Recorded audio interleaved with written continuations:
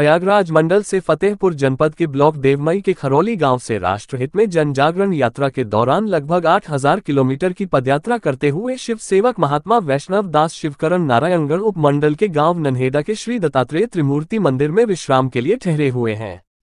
अपने प्रवास के दौरान उन्होंने बताया कि मेरी यह यात्रा अपने गाँव खरौली से संपूर्ण भारत में सैनिकों की सुरक्षा शक्ति प्रदान करने की भावना से आरंभ की है।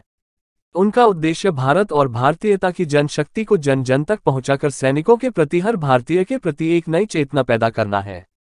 हर सैनिक चाहे वह सेवा में हो अथवा सेवा निवृत्त हो, सबके प्रति सम्मान प्रकट करना है। और जब सैनिक वर्दी पहनकर हमारे सामने आता है तो हमारा सर गौरव और सम्मान में उनके सामने झुक जाता है। आज की राजनीति ने इस पवित्र देशभक्ति के लिए समर्पित सेना को भी अपनी चपेट में लेना शुरू कर दिया है, जो बिल्कुल अनुचित है। उन्होंने बताया कि यह उनकी इस तरह की दूसरी जीवन पदयात्रा है। वह अपनी पहली यात्रा के लिए मात्र 16 वर्ष में ही निकल पड़े थे। हालाँकि पहली यात्रा में उन्हें काफ़ी संघर्ष का सामना करना पड़ा था। लेकिन उन्हें केवल अपना मिशन पूरा करने के संकल्प को निभाने का है। सर्व समाज का यात्रा के दौरान उन्हें विशेष अपनापन मिलता है। उनका भी बहुत सम्मान करते हैं। और उन्होंने बताया कि उन्हें यह देशभक्ति की भावना अपने पूजनीय शिक्षा गुरु श्री राम प्रताप जी के सानिध्य में प्राप्त हुई है। जो राजा राम इंटर कॉलेज हरदोखागा फतेहपुर के प्रधानाचार्य थे, वह बाल्यकाल से ही देशभक्ति की भावना को पहचान कर ली थी।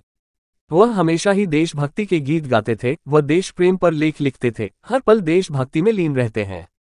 और आप लोगों को बताते चले कि महात्मा वैष्णवदास शिवकरण जी ने बताया कि वह देशभक्ति की अलग जगाने के लिए दर दर घूम रहे हैं।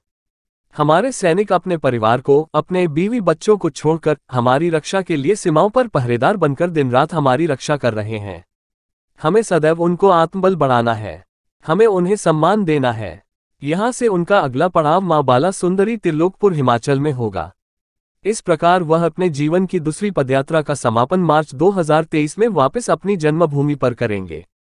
इस फतेहपुर ज़िले के देशभक्त महापुरुष की भावना और विचारधारा लगन जो बिना स्वार्थ के देश के जवानों के लिए पैदल चलकर माँ वैष्णो देवी के दर्शन करने का फैसला किया है। और इस भक्त के पैरों से पता चलता है कि कितनी कठिनाई से सफ़र तय कर रहे हैं। और भक्त ने हथनी कुंड बैराज के विषय में भी जानकारी दी है। आए सुने जुबानी शिव सेवक महात्मा वैष्णोदास शिवकरण की।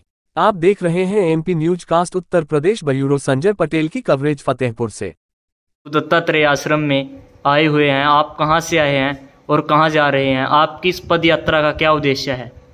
जी, सर्वप्रथम इस भारत भूमि को, मेरा बारंबार सक सक को बंधन सहस्को कोके कोके प्रणाम। मैं इस समय आपके जनपद फतेहपुर से उत्तर प्रदेश ग्राम खरौली पोस्ट मुराई थाना और जनपद फतेहपुर से 25 मार्च 2022 से लगातार मैं पदयात्रा पर निकला हुआ हूँ।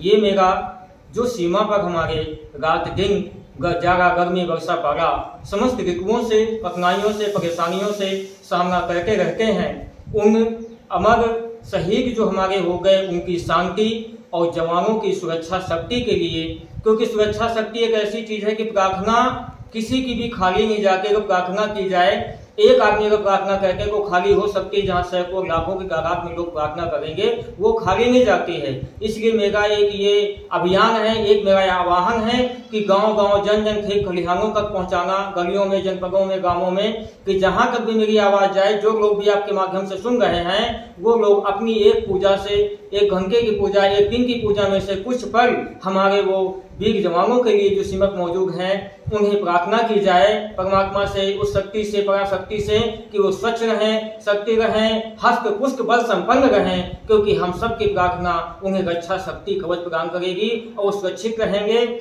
और मेरा ये आपके संगम प्रयागराज, मिर्जापुर, चिपुर बागा सुंदरी, परशुरामेश्वर, महादेव और यहाँ से साकुमरी माता से दर्शन करके इस समय हथनी बैराज पार करके आपके ननेगा में आया हूँ। ननेगा से आगे हमें चंडीगढ़, कालका देवी द्वारा जी चिंता पूर्णिमा का होते हुए ककड़ा वैष्णो देवी से आपके 500 किलोमीटर चंगी माता मचेल माता का दरबार है, जो किश्तवाड़ में आती हैं। उन्होंने संग खक्कर में जंग जुगावर सिंह के साथ में और हमारे सत्रह फौजियों के साथ मिलकर तीन हज़ार जो चाइना की फौज थी, उसके साथ में युद्ध किया था।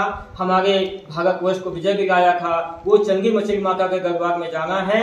और ये पंद्रह अगस्त, जो कीर्तिमान सर्वशक्तिमान उस परम पिता परमेश्वर की कृपा से हमारे वीर क्रांतिकारियों ने हमें आज़ादी दिलाई उनके मेरे चरणों में सत सत को के बंधन बारम्बार प्रणाम और यही एक मैं कहना चाहूँगा, समस्त अपने भारतवासियों को कि जन्मा ना कोई हिंदू, मुस्लिम, जन्मा ना सिख, ईसाई, जन्मा है मानव धरती पर। मानव बन मेरे भाई, मानव बन मेरे भाई। मंदिर, मस्जिद, गुरुद्वारे, करूँ में गिरजा घर को प्रणाम भक्ति भाव सब धर्म में पूजूं।